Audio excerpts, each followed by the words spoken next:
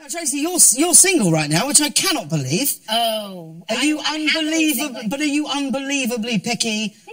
What has what does? I, I what should is- probably lift my standards a bit. Oh, really? no, that's not fair. That's not true. No. Really? No. There's guys out there watching this going, That- what the? No, I have.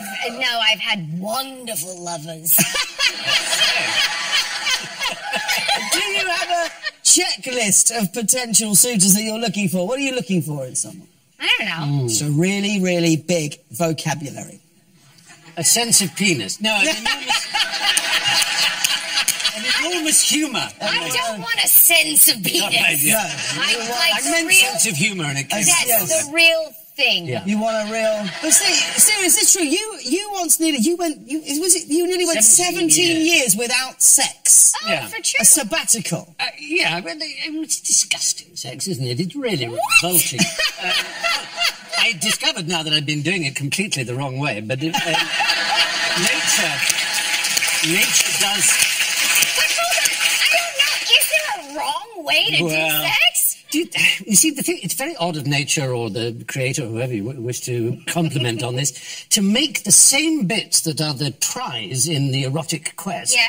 the very pieces of the body which are exactly or contiguous to the bits that excrete the toxic waste. Yes, ah, It's you're like- very right. It's like throwing You're hundred percent all right. those damp, tufted areas. Yes.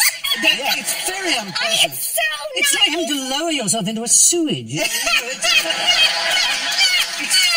kind of humans were you playing around with? He's right. He's right. It's Yeah. the very areas in which you would relieve oneself is also Yeah. where you would Yeah. Look to relieve another.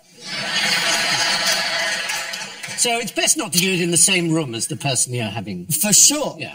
Wait, you have to have sex in the same room with the person you're having sex with. Well, this I've be getting this wrong as well.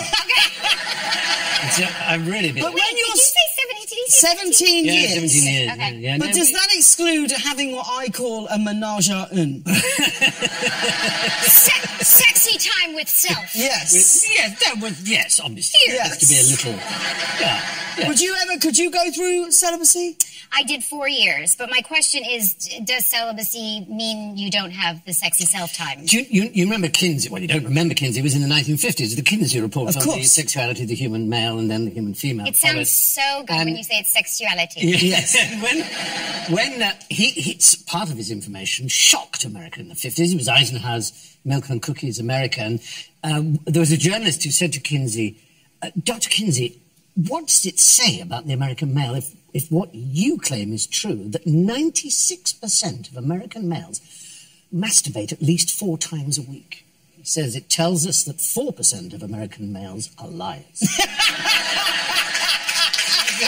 My question is: What does it say about American females? that book came out next, and that was just as shocking because Yes. yes, Women do. You also like to play, you know. Yes, he's cracking me up. I know. He's Yes, I do like to Yeah. have sexy time with myself. Hmm. Yeah. Yes.